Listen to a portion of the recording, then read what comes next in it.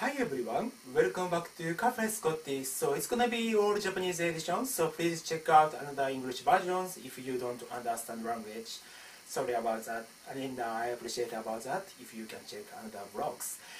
Anyways, えっと、日本語バージョンです。えっと、ママはぽよぽよザウルスはお好きっていうね、この育児本というか、漫画ですね、コミック。と、あとアニメもあります。えっと、ご覧になられたことありますでしょうかえっと、とってもですねあの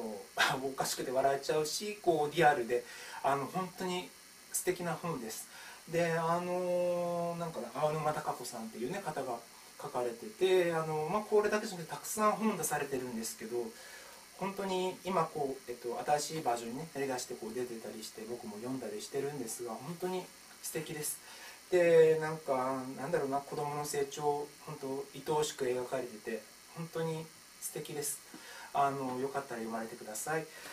えっとあとですね「えっと可愛い頃を過ぎたら」っていうので、えっと、息子のりゅうくんあの氷河ですねあの漫画で漫画ではりゅうくんなんですけどあのコミックではりゅうくんなんですけどあのテレビではアニメではえっと氷河ですね氷河の、まあ、思春期を中心に描いたやつとかあとまあ二十歳は過ぎたけれどって二十歳の頃の娘と、まあ、ジュラちゃんまあ、あんちゃんですねのこう様子を描いたやつとかですね。あとまあさっきの、えーと、あんちゃんのバージョンですね、えーと、ジュラちゃんのバージョンです。可愛い頃を過ぎたら。これも本当に3冊とも本当に面白かったです。あのリアルだからこそ笑えますしあの素敵な気分になります。よかったらご覧になられてください。あとですね、まあ、僕のコレクションの中にもう2冊ありましていつか大人になるのかなっていうまあねこれも、まあ、ある程度年齢がいってからの息子娘あの2人ジュラちゃんと氷河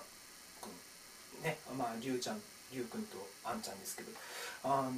描かれてます。これも面白かったですしあとダーリンとのねその後を描いた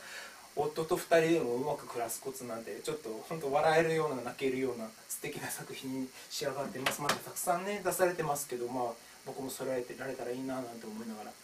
まあ本当機会があったら読まれてくださいいいですよあとまあまあフォープロザウルスがお好きなアニメバージョンあの DVD も出てますので、まあ、よかったらご覧になられてください面白いですよ僕も全部持ってます Well, thanks for checking this out. Hope you guys have a wonderful day and talk to you soon. See you later. Bye.